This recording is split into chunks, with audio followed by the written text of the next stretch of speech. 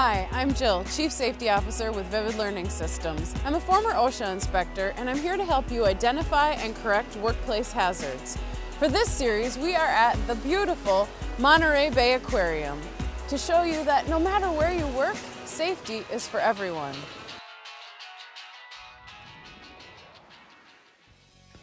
Not long ago, I was talking with an electrician and I asked him if he had ever experienced an arc flash. Now, an arc flash is an electrical explosion that can happen in an electrical device where the metal inside of the cabinet vaporizes and blasts out at the panel at a person. This particular electrician told me he had experienced an arc flash personally. He was working to install new electrical devices in a, in a building. And he said he was just about at the point where he was going to um, energize the entire system. And he was thinking about the fire rated clothing that he had access to and was remembering most of his FR rated gear was back at his truck.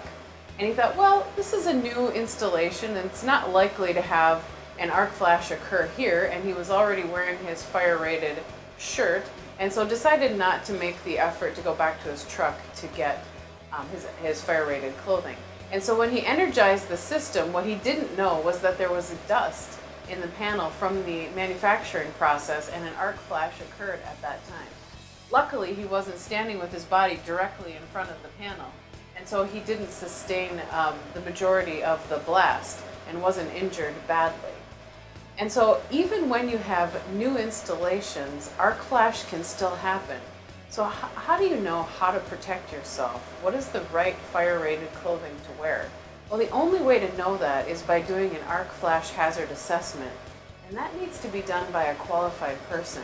It's an engineering method that starts with where the power comes into your community and traces it right back to the exact device that you're going to be working with.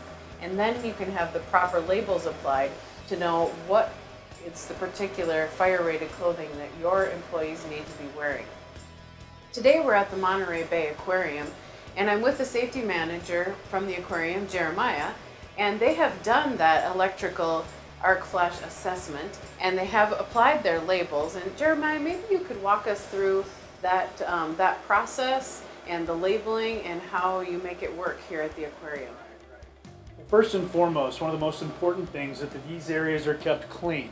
You don't want this to turn into an auxiliary storage area where you would have mop buckets, boxes, anything like that. Particularly in the event of emergency, you want to be able to access your panels. You also want to restrict access from unauthorized personnel. Really, these are serious work areas where only people that are qualified to do so should access.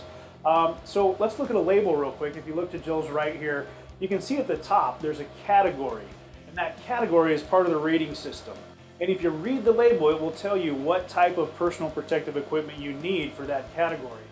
Um, we have several different categories here with different examples.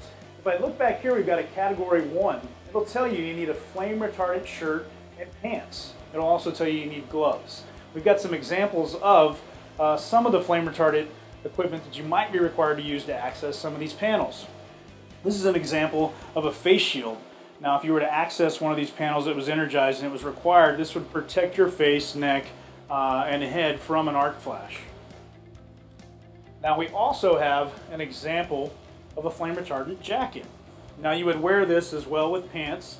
You may even be required, like on some of the other labels you see, to wear uh, uh, coveralls over this. But what I want you to notice is that it has a rating on it.